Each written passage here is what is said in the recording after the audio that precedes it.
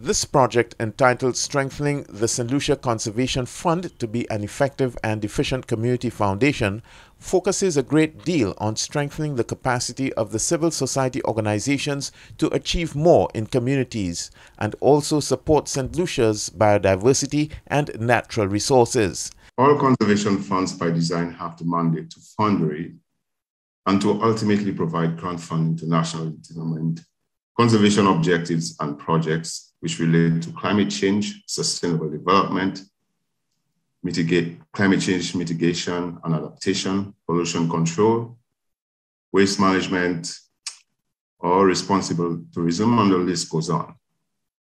I am also heartened by the pronouncements articulated uh, by current Prime Minister Mr. Philip J. Pierre regarding his administration's commitment to environment sustainability. Consistent engagement with other partners has helped to formulate and execute programs under the grant funding. This is exemplified by the fact that between 2019 and 2020, the St. Lucia National Conservation Fund was able to successfully negotiate three funding agreements with local and international partners, namely the SLHTA, which is the St. Lucia um, Hospitality and Tourism Association, through their Tourism Enhancement Fund, also Massy Stores St. Lucia, and the Inter-American Foundation.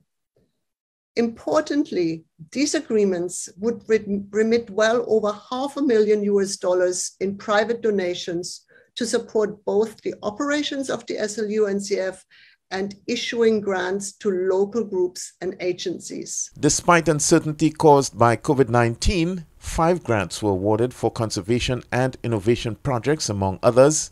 This initiative stems out of the need for more support for community development, especially in the coronavirus context. The Inter American Foundation, which focuses on improving the quality of life for the poor and needy, peruses applications from poorer countries for grant funding for various poverty alleviation projects. The organization then examines the project and then decides whether it merits funding and, if so, how much funding is needed. The five member Project Implementation Committee is charged with the responsibility of addressing troubleshooting issues that may hinder the progress of projects. More importantly, though, we are the committee member, we, the committee members, have been tasked to support the project coordinator, Mr. Felix Finisterre, with brainstorming and troubleshooting issues that may arise during project implementation, and to lend our expertise to support engagement and capacity building with one of our target project audiences, which are fledgling community led or community based organizations in St. Lucia. The 1 million US dollar funded project will target at least 20 communities. Community representatives will receive training, funding, and technical assistance to see the projects to fruition. So, what is the criteria for funding?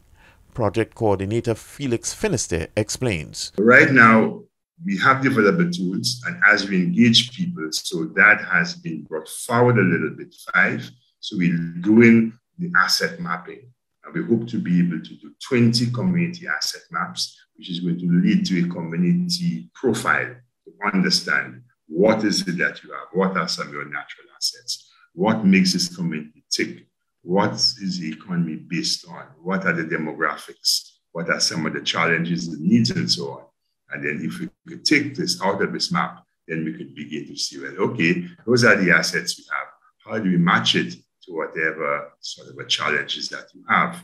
And once we match those, then your community um, um, development plan can really come out of it, can really I mean, emanate. Marginalized groups will also be given priority and officials expressed gratitude to the Inter American Foundation for their partnership in this project. For the DBS News World, I am Don Nicholas.